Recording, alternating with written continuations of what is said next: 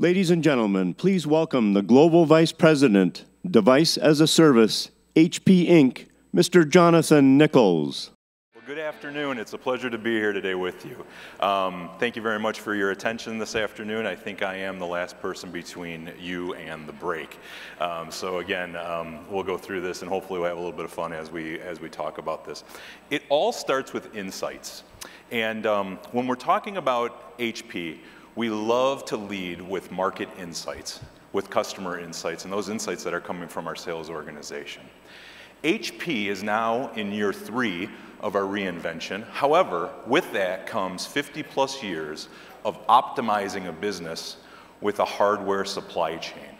The scale of HP operating in 170 countries in a multi-region, multi-channel platform has really allowed us to excel within our business of hardware. We know, though, however, in order to stay current in the new defining consumption models, that you have to reinvest, reinvent your services business. And so, as we look to create the new economic engines that we're striving to drive for to bring value to our customers and to our partners, we know that that consumption model has changed we know it from our own personal lives in terms of the way that we consume technology today, that is absolutely transforming itself from our consumer buying habits into the commercial buying habits that your customers are looking for. We know that we have to continue our goal of reinvention here at HP. So, as we continue to move forward, we started thinking about what are really these tenets of change? What's really driving the transformation that we're really hearing from the market, from our customers, and our partners? Well, epic sales events is how we used to go to market. In a transactional manner, you had to go out and create that offer. You had to understand what that customer was looking for.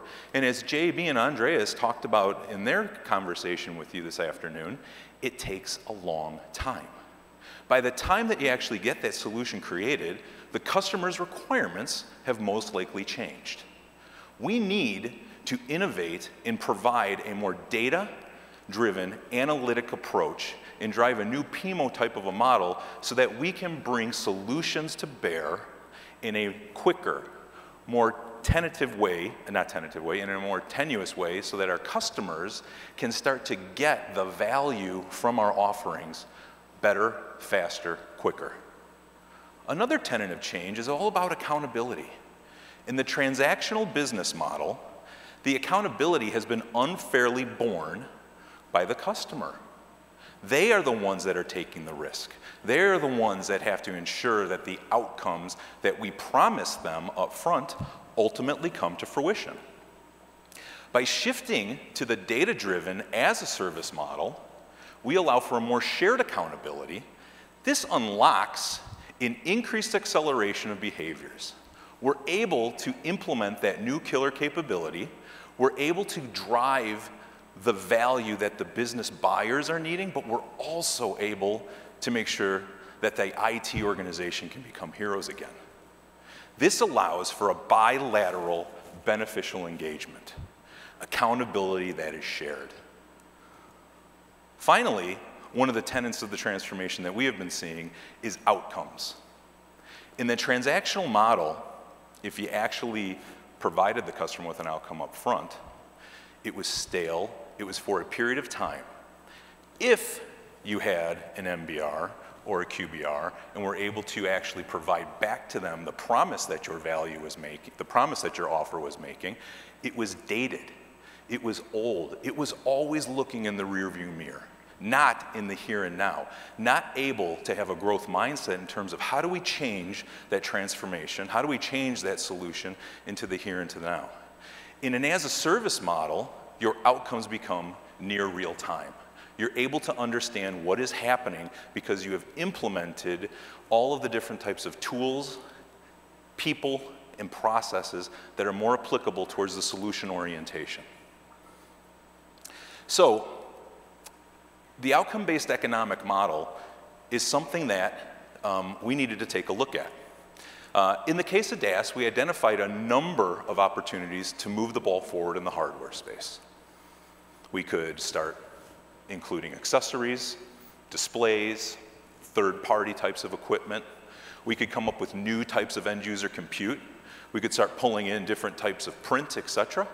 However, um, with that, we know that you need to add in additional types of adjacencies, right? And so these are some of the these are some of the simple things that you're able to do. Add in your lifecycle services, start aggregating together hardware, services, start to provide telemetry. But again, the telemetry without the so what really isn't meeting the customer's needs. So therefore, you have to start thinking about, hmm, how am I really going to get this value proposition across? Security is a newer area, at least for HP, in terms of that was really manifesting from our product up into our services organization, and we started to talk a little bit more and more about security. Well, ultimately, we have to shift that conversation. Hardware no longer leads, hardware enables. We talk about employee engagement first. How is that employee more engaged because of the solution that we are providing to them? How does a best-in-class device, ensuring that it's always working, that you're not getting the blue screens of death, that you're not worried about whether or not you're clicking on some phishing scam or going to release something that's going to cause your device to crash, really enables you to feel more productive, leading to more productivity. All making sure that you have the ability to have an enhanced security environment. The ultimate goal was to drive towards these business outcomes. We had to help our customers realize them. Only when we did that would we truly unlock the value of the as a service model. Our customers are seeking these outcomes, and that's what we set to deliver in our device as a service solution set. Well, now that we have identified this outcome based economic engine, we also had to start to take a look at what was happening to our revenue. What were the revenue models that we already had in place today? And what was the evolution of that revenue model going to look like into the future? So many of you are familiar that when you have, in the past, when you bought outright, usually we're selling a large install hardware base, shipping many units of whatever that you might have been selling. You put onto that what I usually like to call the hardware or the services software support tax. This was the area that your customers always kept to coming back to you at when it came time for renewal to lower, because essentially, as they continued to adopt your hardware solutions, they lacked investment dollars to be able to invest because they kept paying for just maintaining what they currently had. They maybe had the opportunity to do some design and some deployment, some professional services. But you sold this all transactionally in a CapEx type of a model. The evolution that we're kind of going through right now is really what I like to call upfront payment for a promise. The customer is still paying us for a promise that is yet to fulfill itself, for an outcome that they believe is going to happen based on our great salesmanship, based on our great offers, based upon our great delivery schemes, right? What are we really doing today in the industry is we're combining these disparate elements. Maybe there is some sort of financial treatment that goes across this, but you're still taking hardware, you're still taking services, you're still taking potentially analytics and new level 3D and level 4, level 3 types of capabilities, and you're putting them into an annuitized payment scheme. Maybe you're doing that through leasing, maybe you're doing that through a soft through a services contract model, but essentially what you're really doing is you're helping customers really come up with, you know, a cash flow benefit a predictability of the services and the hardware that you're combining. And you're also, as a, as a provider, deferring that revenue, which is a new model for many of us in the room. You have to be able to understand that when you go to this model, no longer are you going to get that one time upfront revenue attainment revenue recognition, I should say. You might get cash in hand, but not revenue recognition. And so therefore, your business needs to understand that you are going to be moving into a deferred revenue model. So I would say today, the majority of the as-a-service models, from a hardware plus services plus software perspective, are probably playing in this range. But where we really want to get to and what our end state is and what we're designing for is really the ability of what I like to call promise fulfilled, now pay up. Essentially, The outcome-based model allows you to move away from a BOM-up type of a costing perspective, a BOM-up type of profitability perspective, BOM being bill of materials of that hardware, of those services offers, of that software offer, and essentially you're just selling them outcomes. You're selling your customers the promise, and only if you deliver on that promise will you be paid. The onus moves 100% to the provider at this point in time. Now, many of you might think that um, these models aren't really apparent. Well, they are. We're used to them. I mean, what is old is new again. Telephony has been this way back when AT&T and Ma Bell were first putting together. You rented your phone, you had your circuit, the call was completed, and you paid, right? This is where we're looking to go to in the new environment with new distributed models. Hardware refresh, flex capabilities, cascading, asset pools, multi-device, faster delivery promises are all going to be part of the onus of the provider. Services, the data, the persona migration, the ongoing management, proactive services, again, all the onus of the provider. The analytics, process optimization, outcome validation, security assessment, monitoring, all the, prom, all the onus of the provider. Finally, those security assessments, the reporting, the optimization, and the assurance that this solution is going to work. Because essentially, when you buy an as a service offering, your expectation is that it just works, that your promise is fulfilled. And that is where we are driving this device as a service category. So, that's what we learned a lot about in terms of the market research, our customer insights, our partner insights, what our sales organizations were telling us. We needed to lay the foundation. I'll be very honest with you. As we started building the category, we weren't to market and wanted to be all things to all people. We went to market a la carte. No consistency in offering, no global consistency, no consistency in structure. That obviously failed. In an as a service model, you have to ensure that there is global consistency in the offer that you are making to your customer. Because unless you control that offering, there is no way that you're going to be able to offer the outcomes that our customers so dearly want and need. So, what did we do? We went back to the drawing board.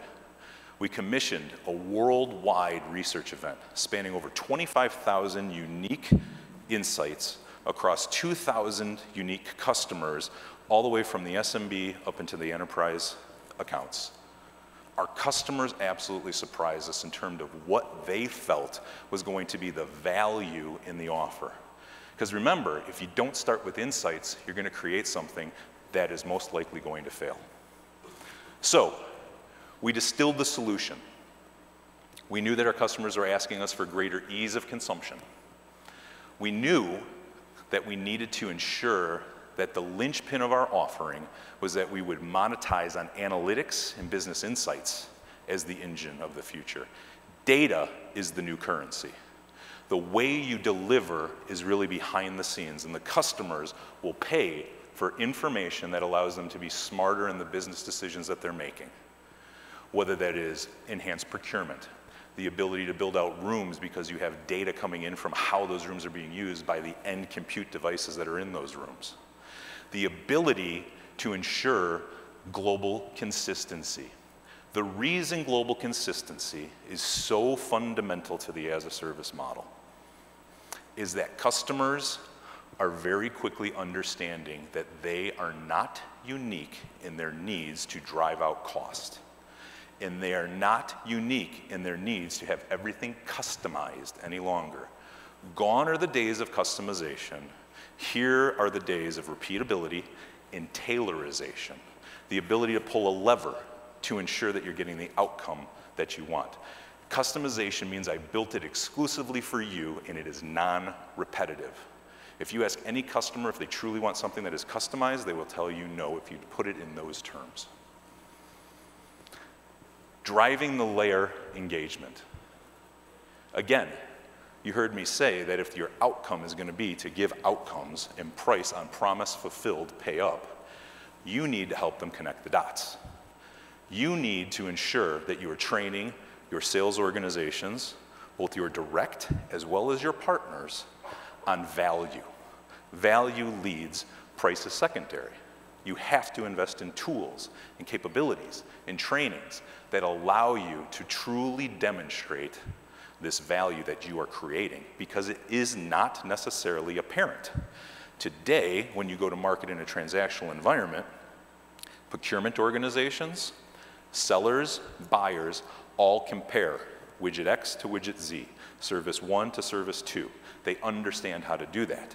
They don't understand the value that you might be creating that is not apparent to them. This allows you to continue to earn your keep because you're going to continue to have to do it. So those elements of what we like to call value drivers are something that become living and you consistently have to deliver upon those promises. So, how are we executing towards this ultimate goal? Well, first and foremost, we still have a hardware component. We are a hardware company. We will continue to be a hardware company, but we are creating new revenue engines through our as a service models. Not only did we utilize HP hardware, but we also bringing on, brought in third party hardware and opened it up to a multi OS environment.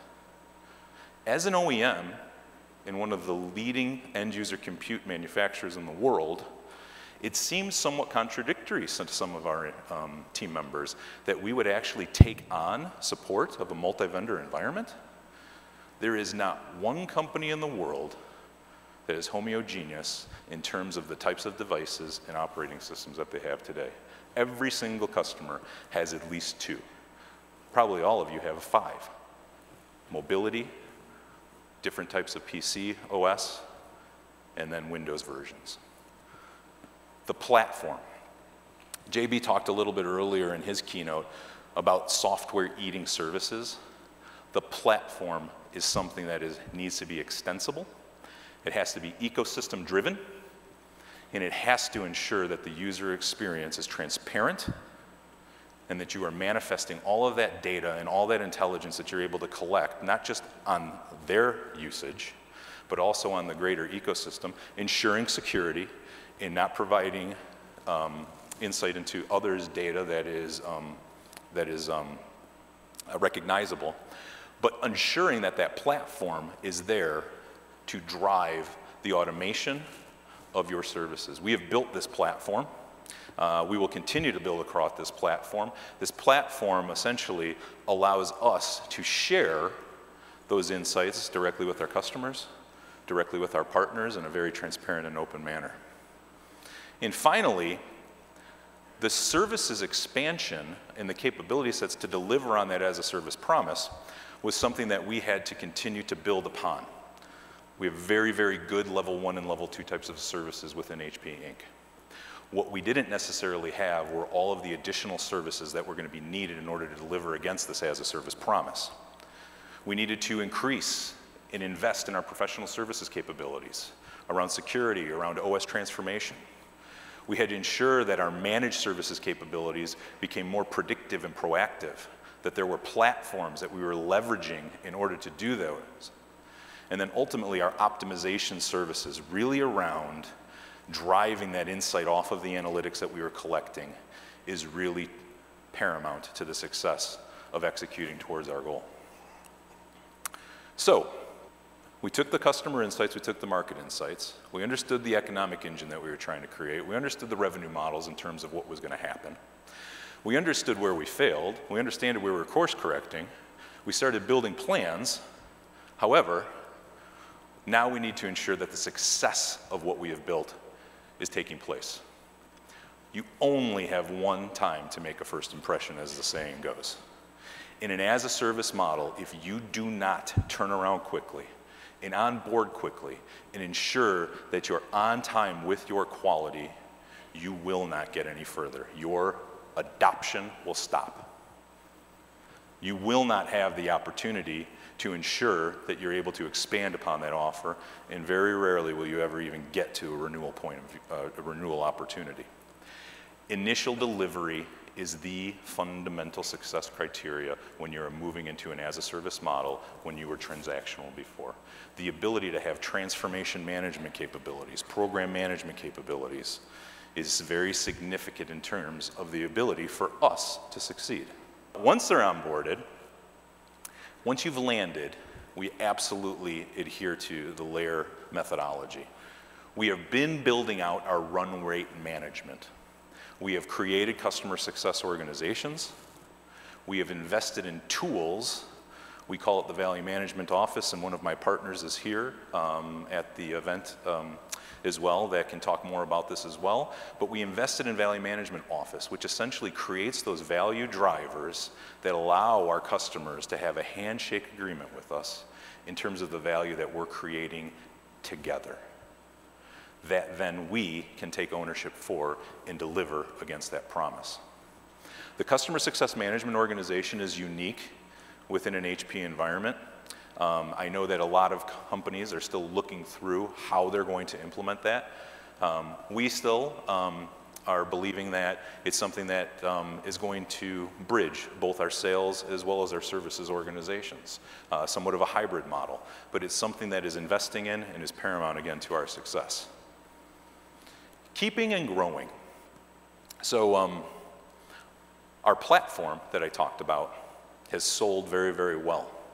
The implementation of that platform in terms of customers taking their devices on and being able to get the great information that we're able to provide them has actually been slower than what we would like. We have an opportunity to accelerate the adoption of analytics.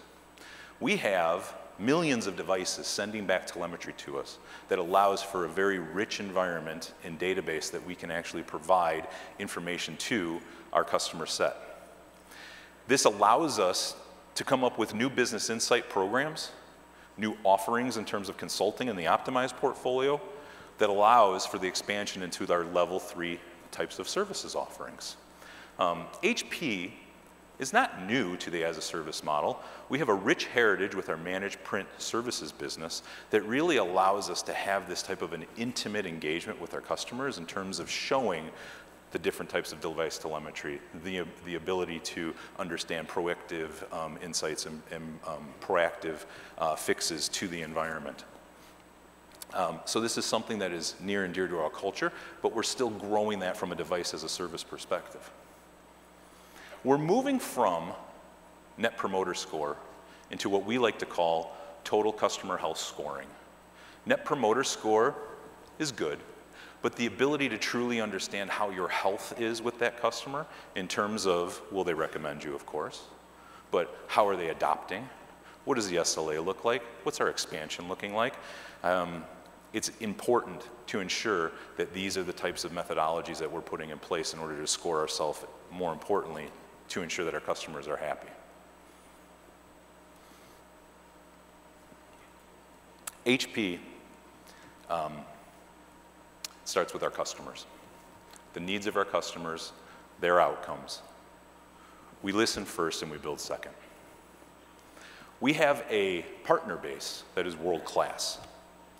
We have 80% of the HP revenue stream goes through our partner community. It is near and dear to us. There is no way to be successful in incubating this route to market than through our partner relationships. However, as usual, partners do believe that any effort that an OEM is doing to expand services is often taken as competitive. So we had to show value add and create a transparent environment for our partners to believe that they were going to be able to participate in this as a service resolution. As I told you earlier when we were building out the plans, we built them specifically with our partners in mind. Our partners, just like us, need to have healthy, reoccurring revenue streams. Only then will the category grow. We need the category to grow. We need everybody to be healthy from the very good revenue streams that allow an as a service model to move forward. HP, when we look at our heritage, is 80 years young. We thrive on reinvention. We are taking advantage of this market revolution, and we are looking for more. Our customers are looking for more. Your customers are looking for more. They want more simplicity in your offerings. They want more trust in your dealings. They want more meaningful outcomes for all of us. So I really want to thank you for the opportunity to share with you a little bit about what we're doing at HP in the device as a service business. And I wish you a great conference and look forward to any conversations that might come next. Thank you. Have a good evening.